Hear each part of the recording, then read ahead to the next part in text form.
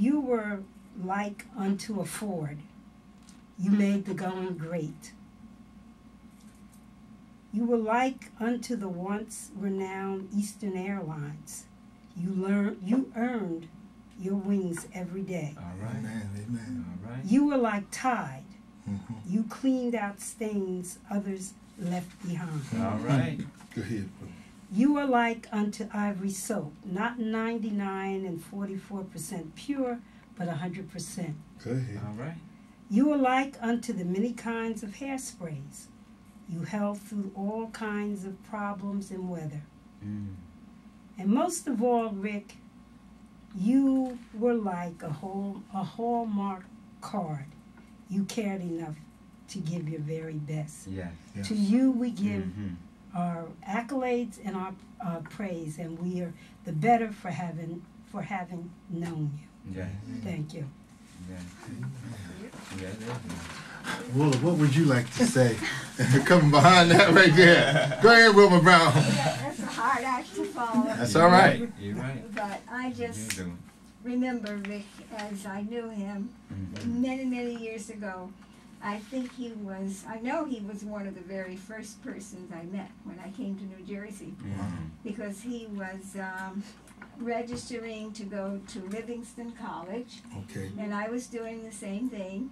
Mhm. And we were seated in the same room, and I remember he was wearing his African attire. Okay. He was making his case, and I was sitting there nervous about to make my case. Uh, Rick and I were involved in the same program. He Mhm. was studying as I was uh, urban planning, Mhm. and he got his uh, bachelor's and then his master's degree in city and regional planning. And I just remember Rick as so full of life Mhm. and such a personable guy. And Mhm. nobody mentioned yesterday, I don't think, I don't remember anybody saying it, but Rick was a very funny guy. Yeah. He had Yeah. a real deep sense of humor Mhm. and he could really make you laugh. Mhm. And if he decided to um, analyze a personality, he could really lay it out.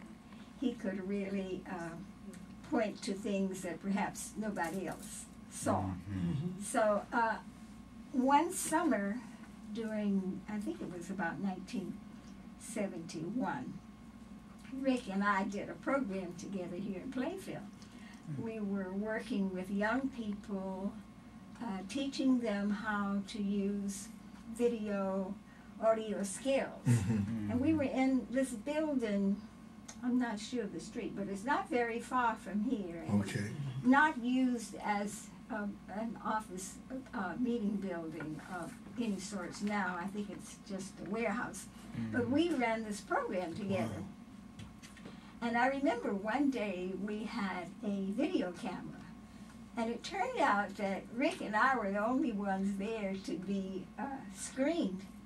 And it was that day that I realized that Rick had a lot of talent. Mhm. That probably one day he was be- going to become a minister Sure. because he started preaching in front of the Mm. camera. Mhm. And I was the only person in the audience, but I could see see that he had a lot of skills, a lot of Wow. eloquence, and a lot of knowledge about the Bible.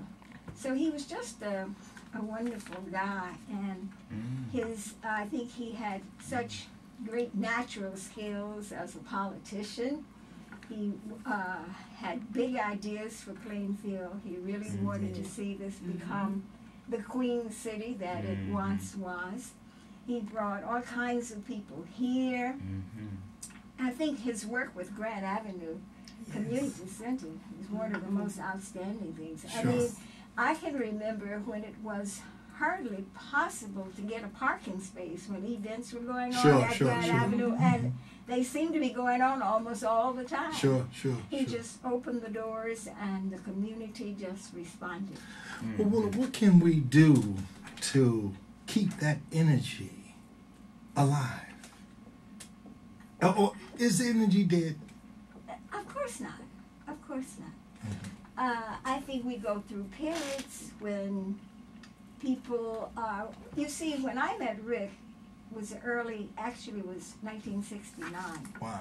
So we were still in the high spirits of, of, of the 60s, you know. About seven years up from the Jim Crow thing. Absolutely. Right, okay. And during the 60s, we had all become convinced that, you know, we can change this Mm, world. At And time, we yeah. and we Yeah. we all felt that we had a responsibility Mhm. to try to do it. Mhm. So the morale was high. Sure. Mhm. And it was not so hard to be energetic. But we've gone through, you know, that's 40 years ago. Sure. Yeah. And as Cornel West says, we've just seen the end of the Reagan era Mhm. Sure. with the election of Obama. So our people and we ourselves have gone through many, many changes since then. But just like a river that goes underground, it doesn't stay underground. Sure, sure, sure. It comes back to the Yes, surface. yes. Mhm. So we're going to be, you know, our All right. energy it had, may have been latent, but it's still there, Without a doubt. All right. Without a And- doubt. All right. and and it's going to come to the surface again. Well, you All know, right. I was uh, four years ago, before I started this show, I was first invited by Chairman Hatcher here Mhm. onto the Rick Taylor Rick show. Taylor, yeah. So the Church of What's Happening Now Mhm. radio actually debuted, or Radio Energy really come out of the Rick Yes, Taylor yeah. show. Uh, You understand what I'm saying? yeah, You see what Yeah. you know? Yeah. And I heard um, Pastor Kirk was speaking yesterday at uh, the cathedral, and they said that sometimes they didn't know what Rick would say. You Yeah, know, and- yeah. and a lot of times, imagine quite nervous. now. But then my show come right behind. You understand? So that same energy, Another- you, you, you, you understand? It's the same energy, Mm-hmm. and I'm not trying to lie myself, align myself with anybody. But I mean, you know, all you gotta do is go through the videotape. All right. So, So Chairman I think you've answered your question. That's one question. All right. Uh, Pass That's it where on. the energy comes from. Yeah. I mean, Rick has gone, but we have you, we have other, Mhm. we have Steve, Mm. Wilma, other people are taken home. Mhm. You know, when we, uh, when we can no longer, Yeah. we, we no have, no longer have the strength to keep pushing, You're there's right. someone else who can take hold. You're right. Well, I remember here, um, Rick Taylor had came one time. We had a demonstration in front of the recruiting station on Front Street, and I remember him getting out the car. I think it was Stephanie Alexander, and they came over to one of our demonstrations. Rick Taylor out there marching with us. I think he had a cane with him, but still out there marching with us, uh, trying to say, "Bring the troops home."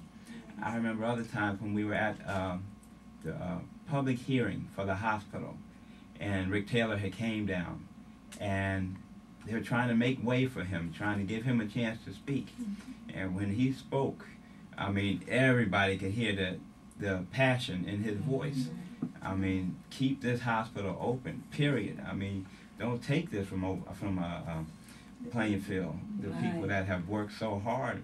131 year old hospital. Mm-hmm. Somebody got to fight for this hospital, and we're just glad that he was there with us Mhm. and and he has taught us so much. Like Zachariah says, he it's amazing because Zachariah, this radio show here, is a chain from the Rick Taylor Mhm. radio show. Mm-hmm. I, I can remember we went up there several times, several times, and this show right here, it really is a link to the Rick Taylor to his show. yes. I mean, he spoke with a lot of passion. You mm-hmm. and I can understand what the person meant by you don't know what Rick Taylor is going to say. What we got to be mm-hmm. careful. Right. And a lot of times with Zachariah, I love him, but sometimes his voice is just like that.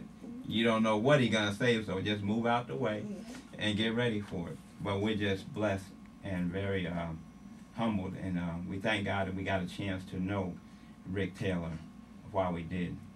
Yeah, I'm so happy also to to, you know, just the short times that I did work with him and with POP and and uh, Rick. Uh, I remember in front of um, City Hall Mhm. we were chanting. I think that we had something about the war in front of City Hall. Did we have one one night, one evening?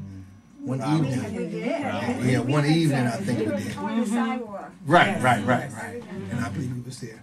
So you know, it was the energy that he had. It was just so great, and I'm glad Yes. that that the Lord allowed him to see Obama get elected into Yes. office. Oh, you're so right. Yes. You And are so I know that he would say, as I say today, you know, as I was coming in here today um, on Michael Bay's have been spoken for today.